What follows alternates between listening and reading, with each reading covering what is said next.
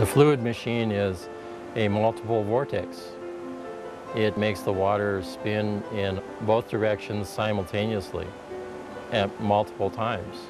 That aspect of vortexing has a great attribute to fixing water, fixing pollution. Water is the machine. No moving parts, no chemicals, no magnetics. Nothing in there to interfere with it.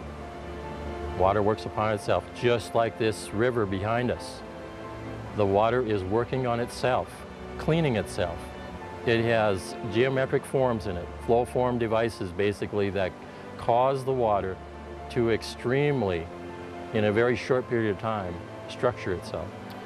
Structured water is water in nature, just like the water behind me running down the river. If you take a gallon or 10 gallons of water and dump it in a mountain stream at the top of the mountain and collect it at the bottom, the water is structured. Structured water is free of memory. It, is, uh, it has a balanced pH.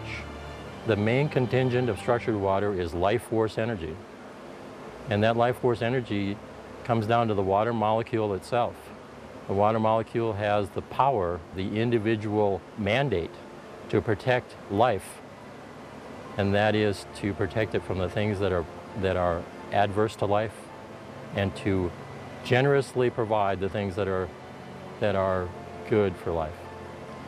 And the way it does that, uh, the things that are adverse to life are pulled to the inside of the water molecule and shielded from life itself. Everything takes less water with its, when it's structured, um, about 30% less water. In everybody's home are devices that you have to constantly tender, you have to constantly feed. I'm building and putting out a device that is one time. You buy it one time, you put it on wherever you want to put it, it'll never wear out. It has no moving parts. The water itself is the moving part. It is the machine.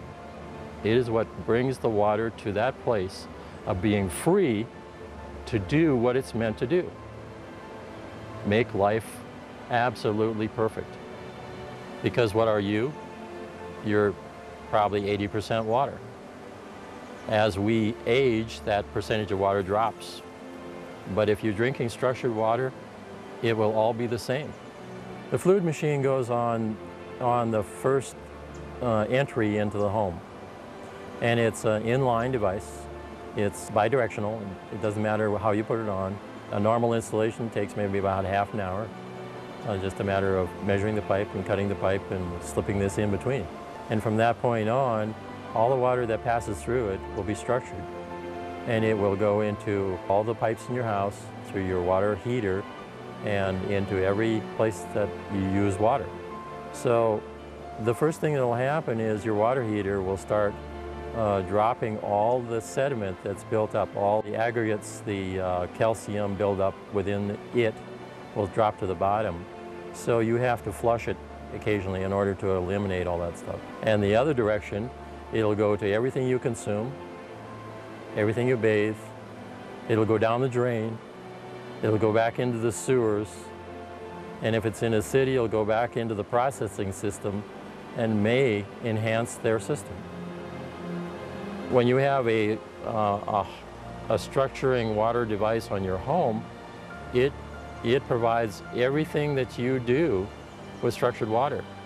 Your ice machine, your gardens, your plants, your animals, your swamp cooler, everything is, is provided with structured water. It assimilates the things that are bad for life.